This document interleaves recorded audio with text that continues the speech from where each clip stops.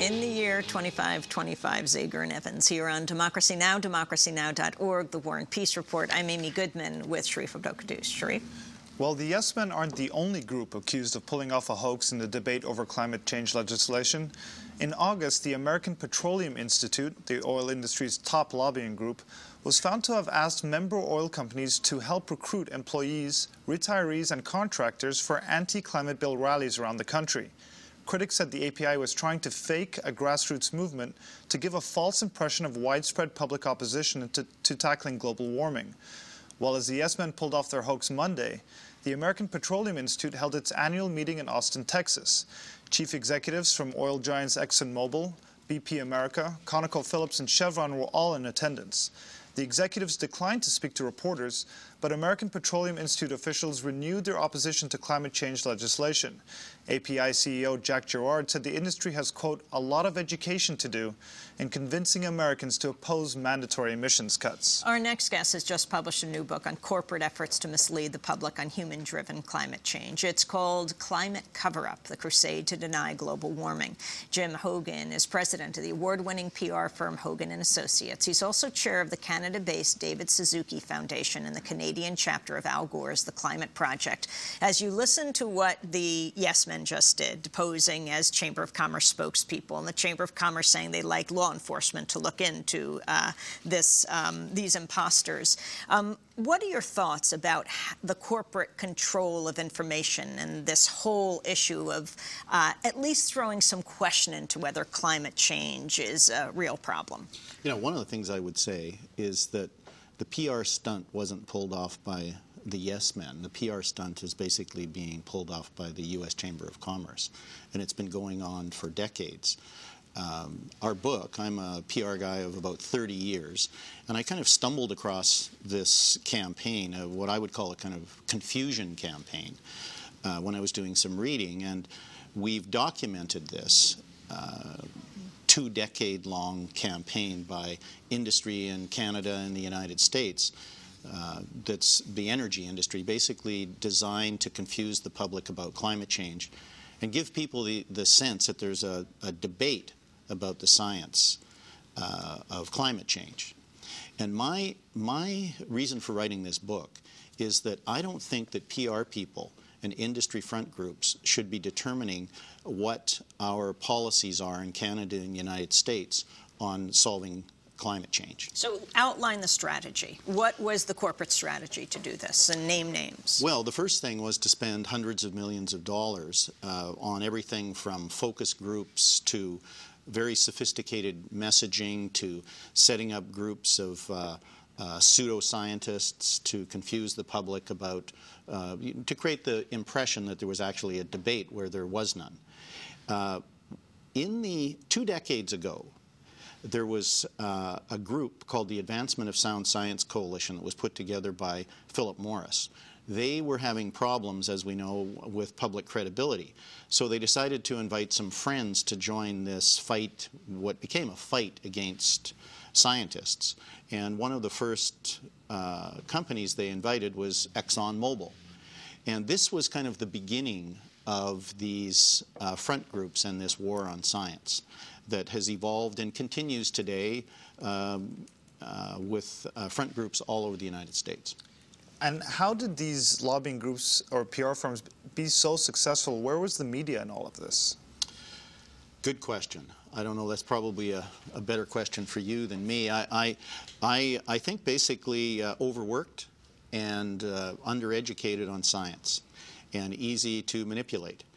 And when you have a lot of money like these people do, a lot more money than climate scientists have, they are out there all the time writing news releases, doing press conferences, creating, uh, you know, uh, phony studies and all these vehicles to basically manipulate people's thinking on, on climate science.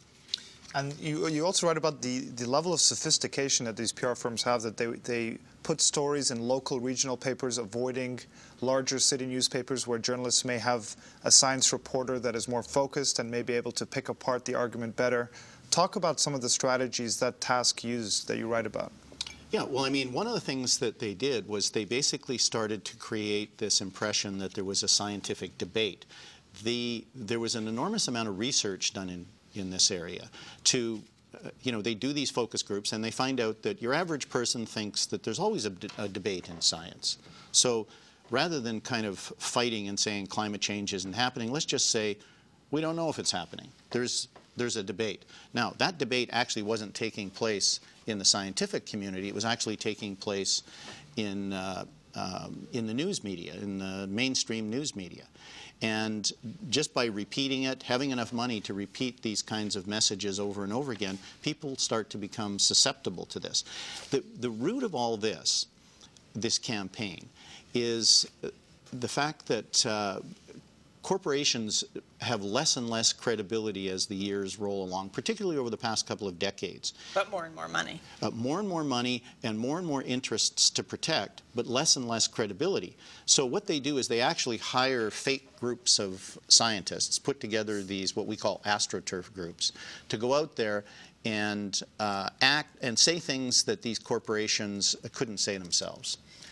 Jim Hoggan, um, we read in headlines today that in West Virginia, activists opposed to mountaintop removal staged a sit-in in the governor's office. Seven people were arrested. Uh, you write about Little Coal salvaging a future that's stuck in the tar sands. Uh, people in the United States don't know as much about the tar sands uh, in Canada that they should, since a lot of our energy is coming from there. And you also talk about how the debate cripples public policy and paralyzes private action. Go from Little Coal to that. Well, it, it, let me give you an example. About a year ago, I was kind of shocked to find, reading a paper in Canada, that the Premier of Alberta, where the tar sands are, uh, decided that they were going to spend $25 million on a public relations campaign on the tar sands. And I was shocked because, well, the, this is the political leader of, of uh, the wealthiest province in Canada thinking that the tar sands uh, was a public relations problem, not an environmental problem. And I think that's where the problems start, but they get worse because of the the massive amount of money. $25 million is an enormous amount of money. It just overwhelms the system. So you just, you, you're able to hire the best researchers, you're able to come up with the best messages, you're able to hire the best PR firms, you can send out the most, new, most news releases, you can hire the best scientists for hire, and it's just impossible for legitimate climate scientists to have a voice in these kinds of situations. And we just have a minute left, but you write about how reading the book may affect your, your faith in humanity. What gives you hope about the whole climate so-called debate and, and future changes to legislation? The more we know about these kinds of groups and these kinds of efforts, the less they work. And I would just encourage journalists to ask these people whether or not they're actually uh, practicing climate science, whether they have they are climate scientists and who they're taking money from. Start to ask these questions and shed light on these people, they'll be far less effective. We want to thank you, Jim Hoggan, for being with us. The book is called Climate Cover-Up, The Crusade to Deny Global Warming.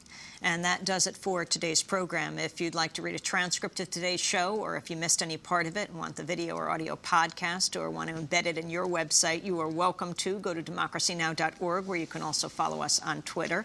Uh, Democracy Now! is produced by Mike Burke, Sharif Abdel Aaron Mate, Angelique Comet, Steve Martinez, Nicole Salazar, Hany Massoud, Robby Karran, Mike Di Filippo, Miguel Nogueira, and Peter Curries are engineers. Democracy Now! broadcasts on more than 800 stations, on Pacifica stations, on NPR stations, on public access TV stations and PBS stations. We're on community and college radio stations around Canada.